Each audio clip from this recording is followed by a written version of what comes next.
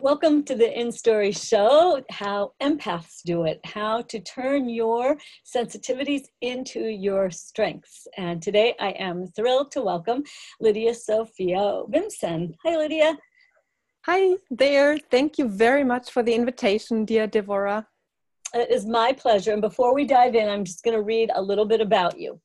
So, Lydia Sophia Wilmsen is an independent, spiritual, and down to earth businesswoman. She is a business mindset coach who lives life on her terms, helping entrepreneurs and change makers succeed in life and business. She works with sensitive and intuitive entrepreneurs and supports them, their businesses, and their work so they can fulfill their mission, the mission their soul is here for, which I completely love this whole topic and what you do in the world. So, um, so before we go into what you do in the world, I love for everybody to start a little bit with their story, especially since we're focusing on empaths and highly sensitive people and how to how did you come to know that about yourself? And did you go through you know a time in your childhood where you didn't know that about yourself or you couldn't be yourself in some way. So I'd love if you could share a little bit about where you grew up and what your life was like. Um, and then eventually we'll lead into how you turned this into your great strengths as what you do in the world. Mm-hmm. Yeah, of course. Let's start there. So I'm one of the persons who didn't know that I was an empath nor HSP, highly sensitive person. I actually only found out when I was in my late 20s, when I found a really nice book, a German one about, um, yeah, high sensitivity basically. And when I then look back, obviously I always like I was that kind of person, but I didn't know.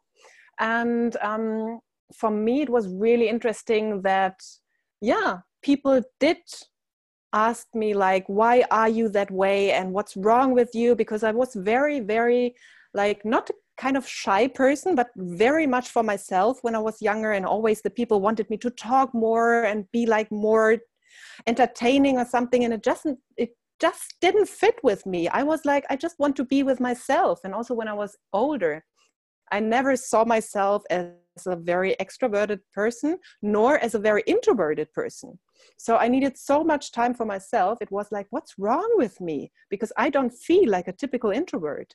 And later on, I found out, you know, the one of the traits of high sensitivity is that you need a lot of time to process all the many things you feel, the emotions from the people, like everything.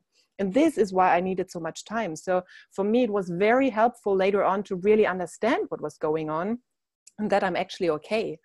And another thing is that people always told me, like, don't think so much, like, be more emotional. And I was deeply emotional inside and i was just you know observing and taking in all the emotions of other people and observing what are they doing and hsps or um, empaths you know because we feel so much. We do have to process more. That makes us good thinkers. Like we have to think more in a like shorter amount of time.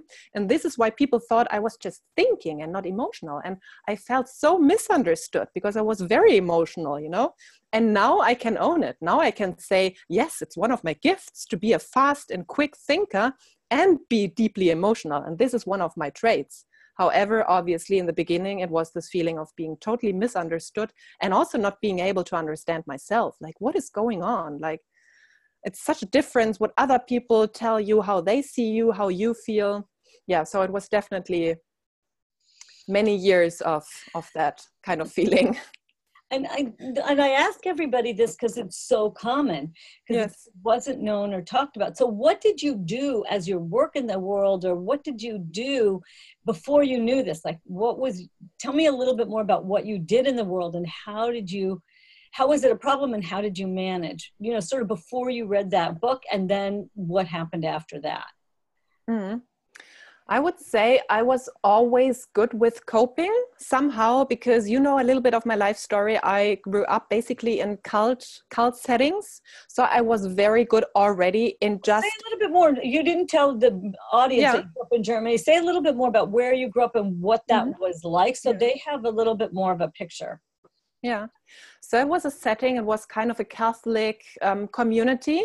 However, a very strict regime, how you had to live, what you had to think. It wasn't in written legal code or something, it was all those like unwritten um, ways of how to how to behave and i would say it was like a sect so if you did wrong then there was punishment in like what you were like what you were allowed to do then and i had to move all the time because you know depending on the people what they said like the cult leaders where you should be you had to be and just go to this different place and live there. You um, people had to marry the person they were told to marry. We had like one big leader who made the rules and the people then who acted out those rules and put like the weakest people were always those who were punished basically. So it was a very insecure place to grow up you know and not with your own personality. It was very much the personality you should have. Mm-hmm. so in that way i knew how to behave in order to stay hidden you know to not be called out to not be punished basically. So this helped me obviously later on to always fit in because i could like a chameleon, you know?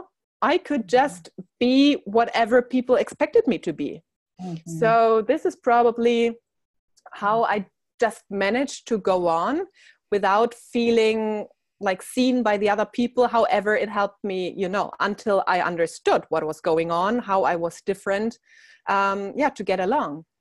And um, I would say it was also this way of just being reclusive of just taking myself a little bit out and not telling everyone. And this i wouldn't say do that in order to be okay with your tre- your trade you know but this was my way. I just didn't show my real me because in the beginning i didn't know my real me. I didn't know my personality.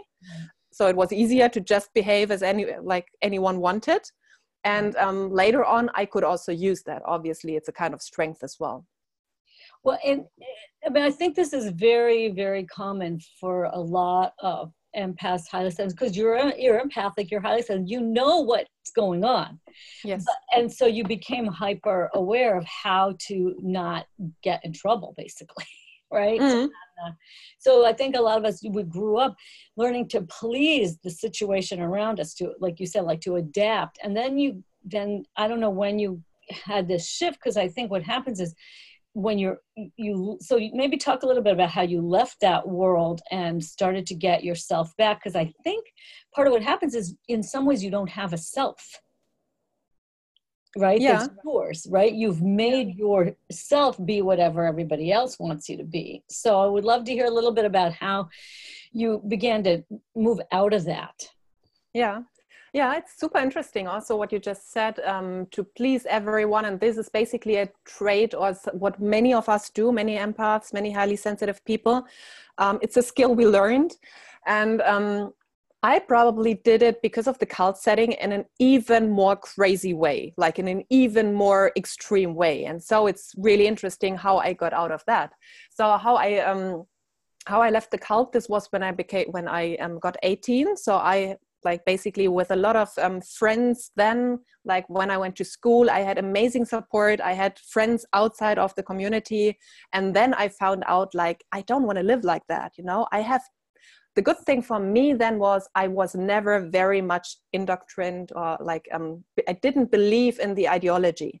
So i wasn't you know a big believer. And this is actually a problem for other people you know when they want to get out of a like cult or whatever because they feel like God is punished, is going to punish them, or the devil is going to come, whatever. This wasn't my problem so much.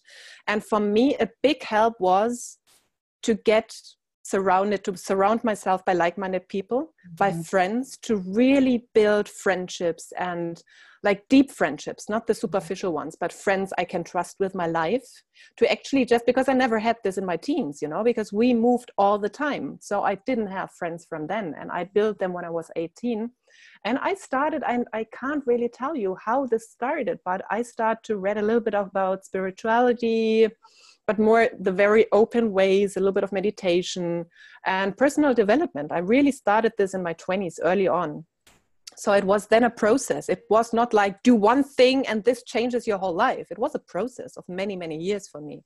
Mm-hmm. so yeah and to find my and it was the personal development and my obviously my coaching degrees um, a degree. It took me three years and then many other things of group therapy. I also did a lot of group therapy and stuff like that or personal therapy.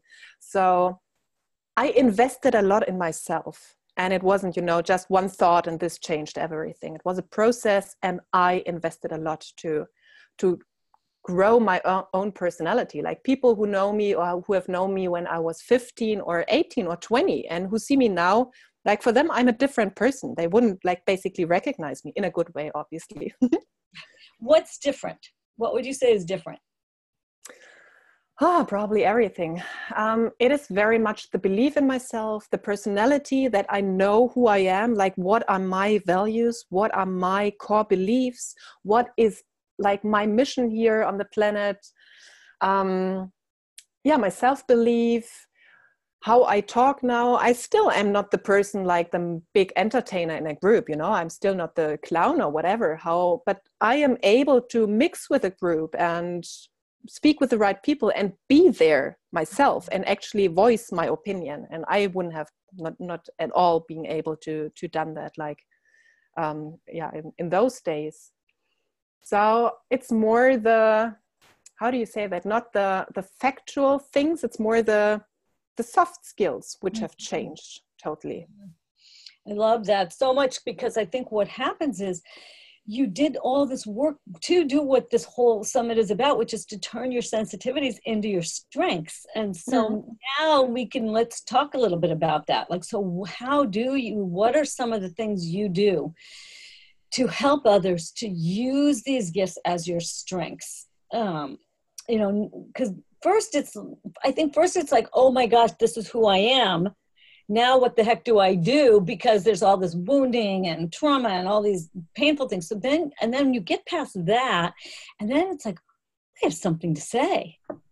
Mm-hmm. You know, and that I think is that's a big part of my passion also is that I really believe we have something to say, and that as empaths, highly sensitive, creatives that you know intuitives we really are needed. Like what we the way we see the world and what we have to say now i think we're being really called forward to make a difference. So so i think it's super exciting. And uh, so now i'd love to hear a little bit about what are some of the ways that you are now using these sensitivities to help yourself to help others to make a difference Mm, yeah, great question. and the funny thing is, when I started um, as a mentor and as a coach for sensitive and intuitive people um, and empaths, obviously, I didn't know I was targeting those people. Like I didn't know I was targeting targeting us. And then I just later on, a friend of mine said, "Ah, but you said you are highly sensitive, and why wouldn't you just work with those people?" And then I thought, like, okay, interesting niche and then i found out i was already working with those people you know? I went through every client of mine and all of them fit the description to the book basically. And then you know, it was I like okay. I basically have that same experience. I didn't know that that's who i was working with until i started to talk about it and everybody went well yeah. So then i decided to do a whole series on it. So i think we just didn't we didn't know. Yes so. And then yeah, and then it was, yeah, that's really funny. And then it was really like, okay, interesting.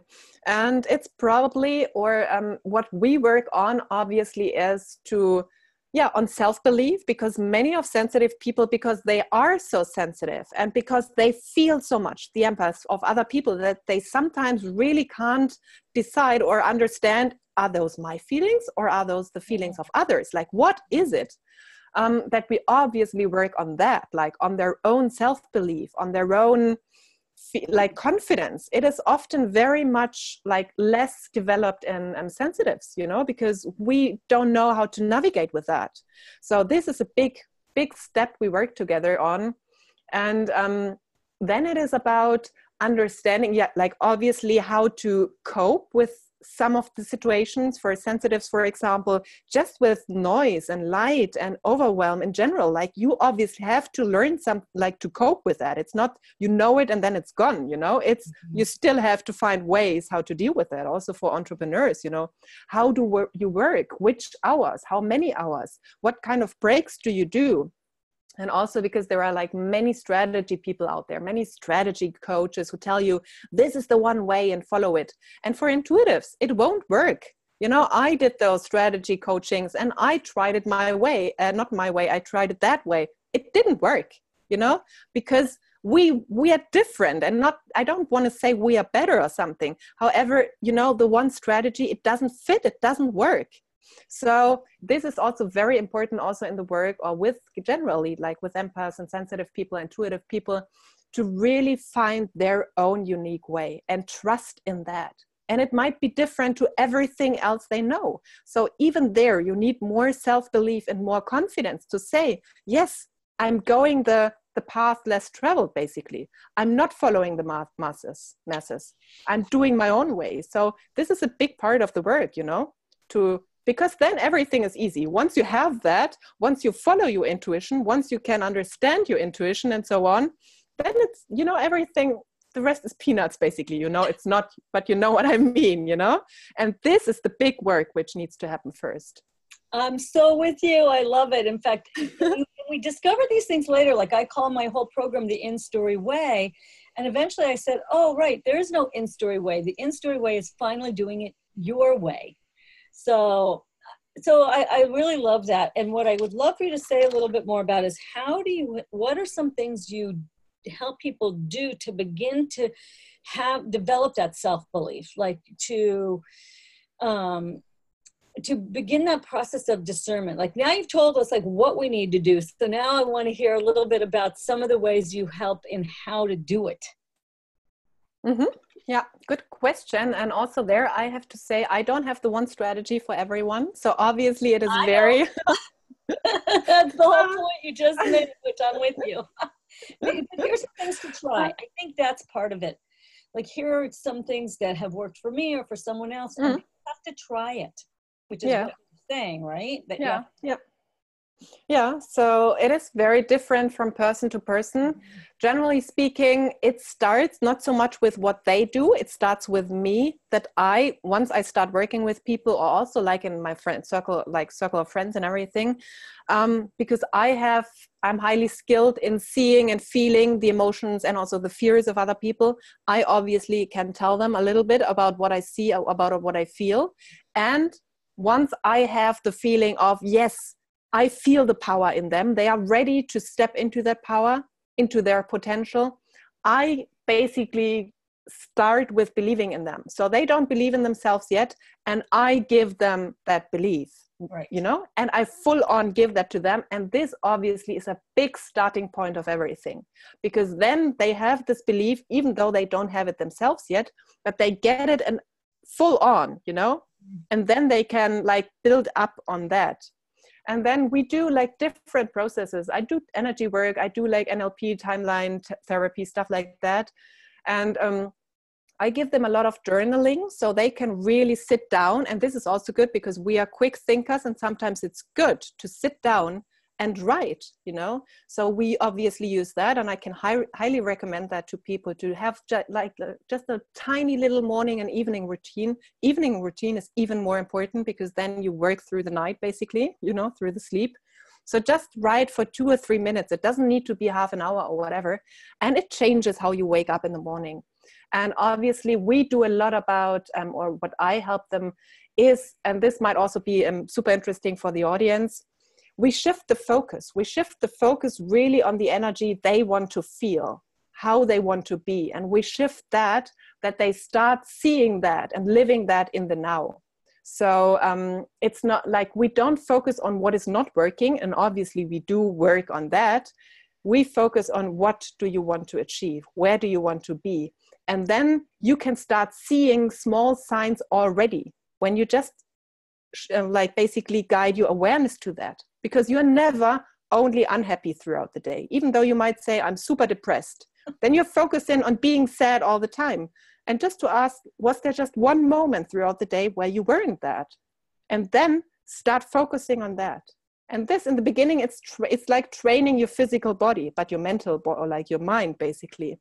So you know it's it's tiny things and they sound sometimes very easy or very like what is that? and they make all the difference I completely agree with you. You know what? What I've also seen this sense of having to re-see yourself, and this is a big part. Like what you're doing about saying, "I see somebody," and you say that back to them. I think that's what we do for each other. We stand for each mm. other. I spend a lot of time also saying back to people what I see that they're not seeing. Like I always say, I have a line. I always say that we're a little invisible to ourselves, and um, and the other thing that I have found is that in a i have a group program right? And i say to people they'll say to me i don't know if anyone's going to like what i write that they're going to share. I said if it moves you it will move others. Because we're not used to i just what you're saying we're not used to trusting our intuition intuition because we got flack for it. So i think that is a big part of what um, what's happening to us. And then what i'd like to do is talk a little bit about more about like visionary ideas like where do you think this is going? Like what are some of your bigger visions and some of the bigger visions that your clients are having? Because i think we're seeing something bigger happening here. Yeah most definitely.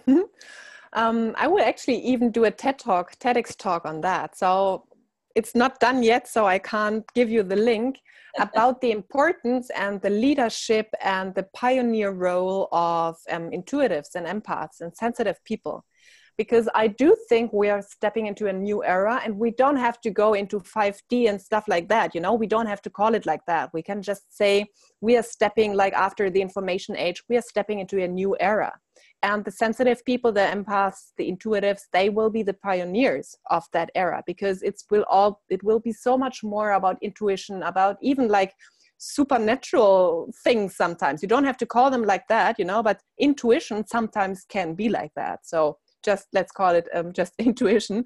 And um, sensitives like how we deal with the earth with other people with ourselves and that it's going away from the collective. There is one guru one god one politician who's telling us the way and the masses are following. It will be more much more about the individual leading and transforming themselves and those people around them. And intuitives because they are so sensitive to everything what is happening. They are already picking up on that that we are basically on the on the edge of a new and call it what you want like a new era new time whatever. And i think even um, elaine said this that intuitives and sensitives are because they feel so much they are like the yeah they are the people who are walking in front you know because they can see more hear more feel more than other people. So they are i don't know the english word they are the not observers something else you know the people who go in front because they are more their senses work better so i would actually really see it like that. People feel more see more hear more and they will be the pioneers of the change coming.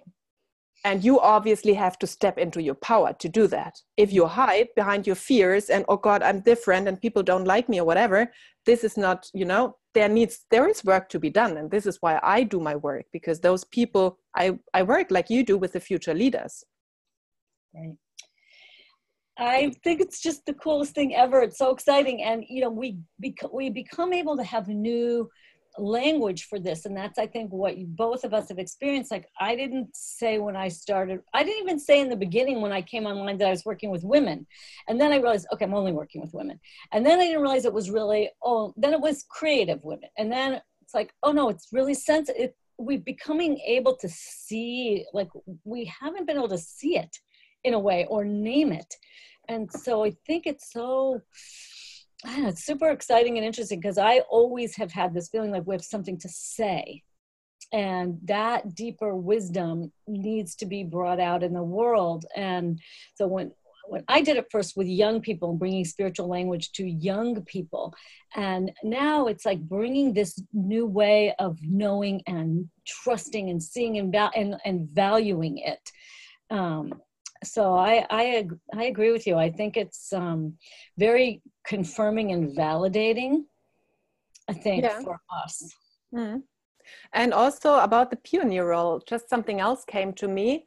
It is about also it is also kind of teaching role because we have those higher or alerted senses and higher feelings and we will be in that role because we will be able to teach others how to work with intuition and emotions right. so yeah this is also why it's so important and why it's um, the, ne- the next step forward.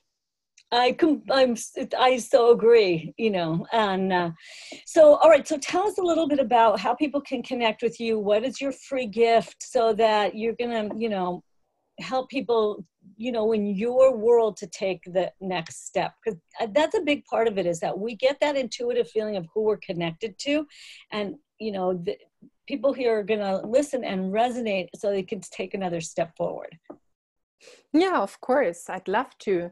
So, what I found out, what many entrepreneurs, sensitive entrepreneurs, um, struggle with is obviously also charging their worth.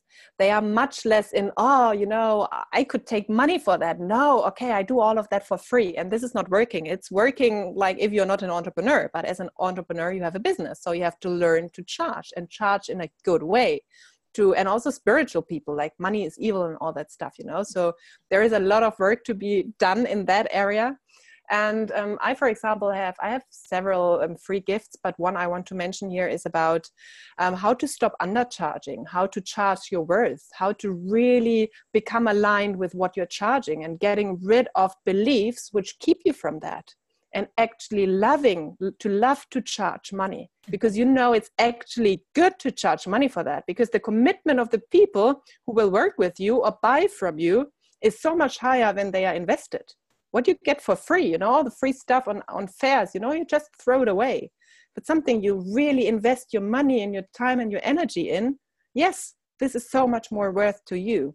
So this is a free gift i have a little like pdf because I think it's ultra important for entrepreneurs too. And whatever level you're on, it's not only for the newbies, it's also for other people. You know, there are people out there, and I think like, what are you doing? You'll be like suffering when you're 80 or 70 because there is no money left to to um, feed yourself. You know how you're working at the moment. So yeah, people it can is. obviously get this that's a really really important gift because it definitely it's a paradigm shift and part of it is knowing where are you because we have the model of spiritual teachers who were like sadhus and didn't charge and that but you have to say okay if that's not the paradigm you're in and you switch over to this uh, um, entrepreneurial paradigm it does require i'm so glad you're offering this because it does require a, a particular kind of deep work to be able to feel that I think to feel that we're still humble and we're still in service um, and and that the money is not corrupted. You know we have so many yeah. i always say we don't want to be the guru gone bad right? So um, so i think that's a really powerful gift because here's the thing we need to build up the, our you know i always say don't we want money to go into the hands of highly sensitive enlightened entrepreneurs? Like hello yes i i coined the well i don't know if i coined it but i used the word conscious billionaires. Right. like imagine having those kind of people on the planet doing good and bringing their gifts to the world. How amazing is that? Right right exactly. So um so uh, so make sure people to get the free gift and then come in. We're having a facebook group with the um, series with the in story show series and pop in and share what your experience is. Like go through the pdf and then share what comes up for you and where you are in this whole journey because what you can see right away is sharing in front of each other makes a big difference like we we really can't do this work alone. Like that is a big clearly a big thing. So kind of to wrap up lydia share maybe a last few words of words of inspiration for us. Words of inspiration no pressure no. oh, no pressure at all. Pressure taking off. Um, I would just say I don't have like a little citation or whatever. It is more, I really want to give you like my belief in that moment. Like if you have something you want to go for, if there is just a tiny little zest for doing more in the world, perhaps starting out onto um, your entrepreneurial start, I can just say, give it a go however obviously get help on your side. And you might just you be in the group and join the group and be in there and get help on your side. You don't have to do it alone. And i would say also i'm um, sensitives and i said this is it saved my life to have friends around me. So mingle with like minded people. It is key. And don't think you have to do it alone. Not at all. We are social beings, so get help and support on your side. And yeah, walk the path and share your message because it is needed. It is so needed. I can't say it like with more pressure in my voice. I agree. And obviously, all of you, you're here listening because you're feeling this calling of your soul. And so much of what this is about is that if you begin to tell your story, it will reveal your purpose and it will bring you those people along, you know, along your side to do this journey with you. So, Lydia, thank you so much. And uh, I love, I love that you're out in the world doing what you do. Um, and everybody, as I always say in farewell, remember to go out in the world, share your story, live your purpose, and be a blessing. Bye, everybody. Bye bye. Thank you.